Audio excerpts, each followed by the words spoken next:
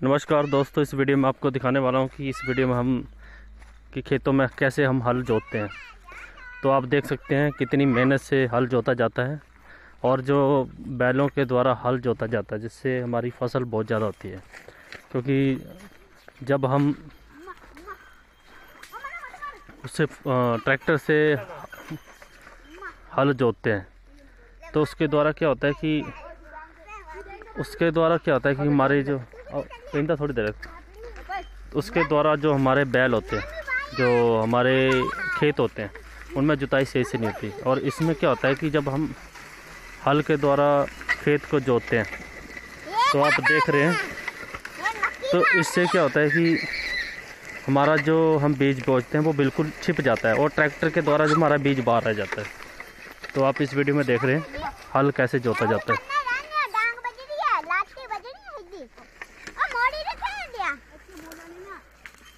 आप देखो इस वीडियो में हल को कैसे जोता जाता है और कितना छोटा बच्चा है जो इसको हल को जोत रहा है। आप देख सकते हैं।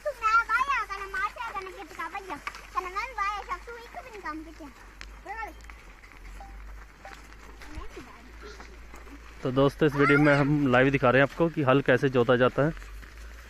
आप देख सकते हैं, क्योंकि ट्रैक्टर के द्वारा हमारे जो खेत होते हैं, उनकी जो मिट्टी होती है, वो ट्रैक्टर का जो फाला होता है, वो छोटा होता है और जो हल का फाला होता है, वो बड़ा होता है, जिससे हमारा जो बीज होता है, वो पूरी तरह छिप जाता है।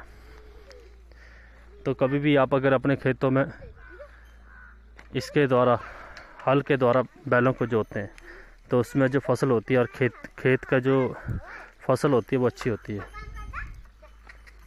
देख सकते हैं? इसमें मेहनत तो लगती है, मगर फ़सल अच्छी होती है, जिसके कारण हमारे जो दाना होता है, वो खेतों में छिप जाता है और हम उसको प्रॉपर तरीके से कर पाते हैं।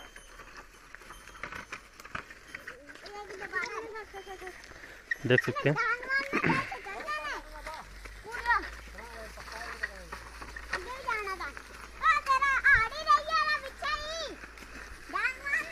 तो दोस्तों, पहाड़ों में हम जो हल को जोतते हैं क्योंकि यहाँ के खेत जो होते हैं सीढ़ी नुमा होते हैं, जहाँ पर ट्रैक्टर का आना संभव नहीं होता, वहाँ पर हम बैलों के द्वारा फ़सल को बीजते हैं।